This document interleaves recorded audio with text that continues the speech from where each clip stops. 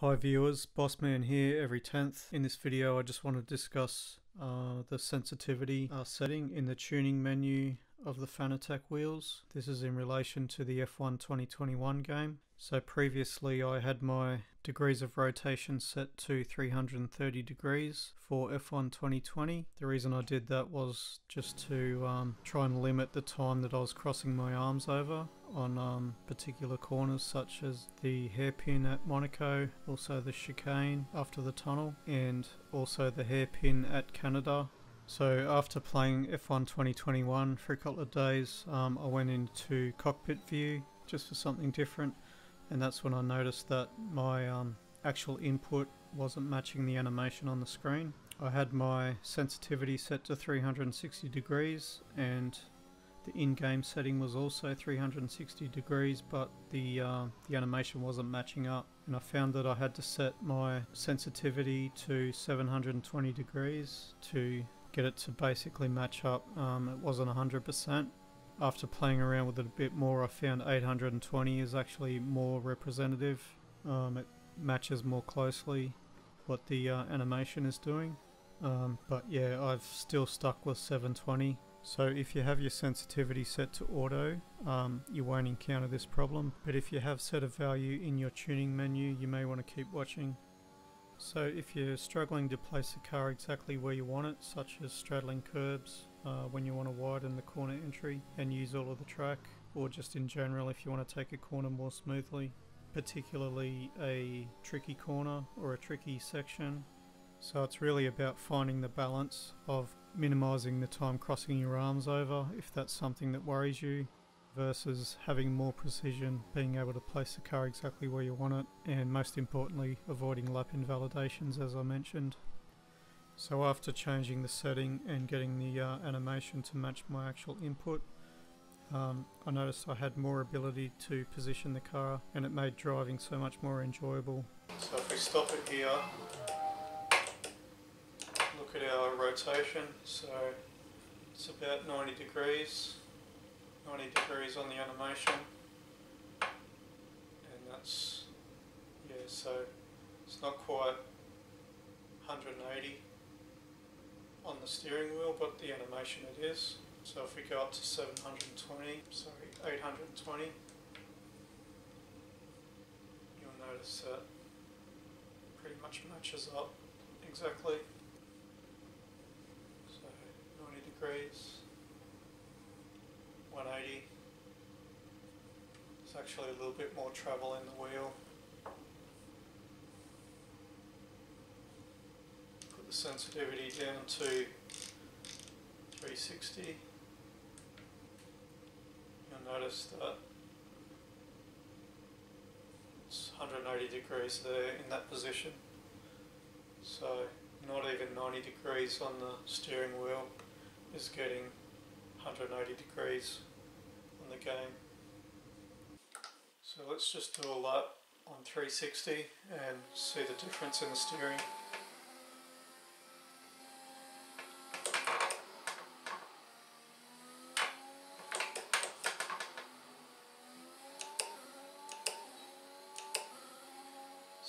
Notice the car's a lot more sensitive, like it's real touchy down the straights I've got to be real smooth on the corners. Obviously I'm not used to this so I'm used to having it on 720 so it's going to be a little bit different. But you get the idea, it's much harder to place the car where I want it.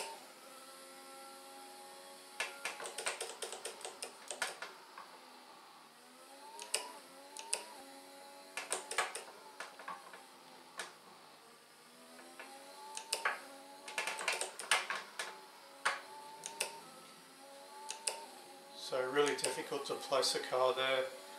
Um, obviously you could get used to it like this, but um, it just makes it much harder in my opinion after, I mean, having it on 3, 330 I, I think I had it and I got used to it, like going back to 360 uh, which is essentially 360 degrees, um, even though it's 720 on the wheel for some strange reason. So yeah, get the idea, let's go back to 720.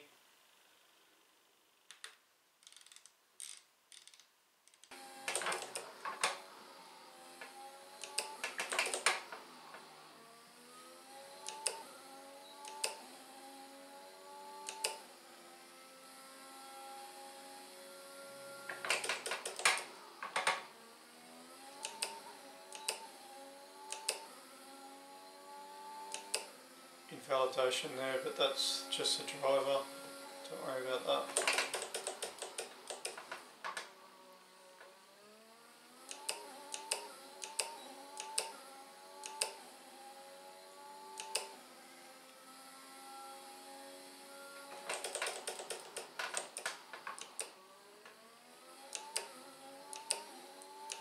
As you can see the car's a lot more controllable.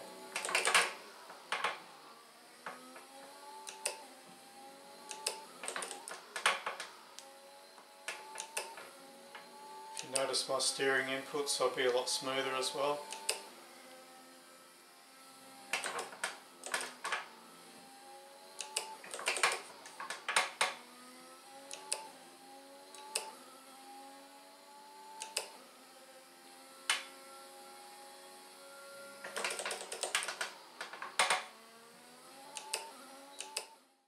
So I'm going to put the sensitivity setting to auto.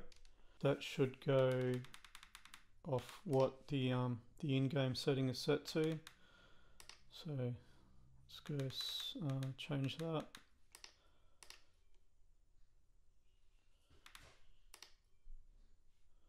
So if we go down, maximum wheel rotation you can see is set at 360 degrees.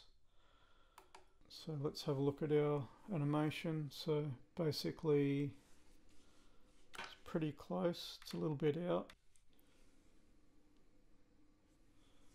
So my my actual wheel is 180 degrees but it's not quite in the game.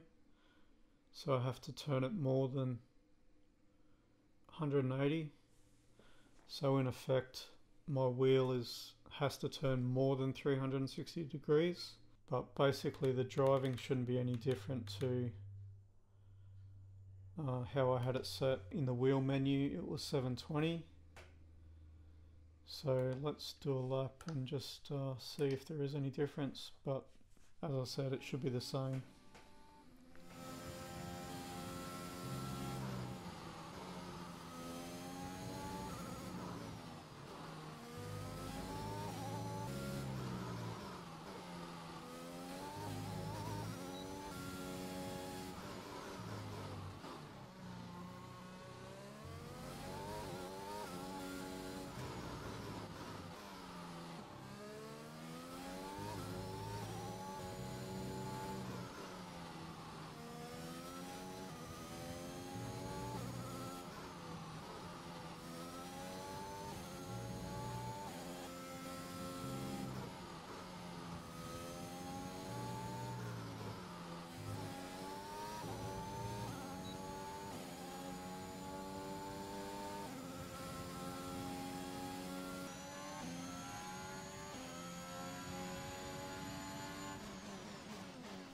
So Monaco is a bit of a tricky one too because you want that, um, the corners are so quick and you want that quick reaction time. But at the same time there are some tricky corners where you know the walls are that close you want to uh, use all the track and get through the corner as smoothly as you can.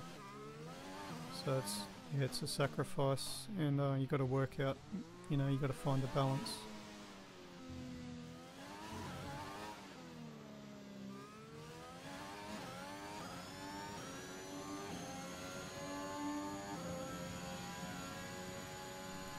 So this chicane is quite difficult with the higher steering rotation. But uh, these high speed corners and the ones in uh, sector 1 as well are a lot easier to navigate. Anyway guys that's about it. Uh, I just wanted to do Monaco just to uh, highlight those points that I just mentioned and uh, yeah Thanks for watching. See you on the next video. Please like or subscribe. Cheers.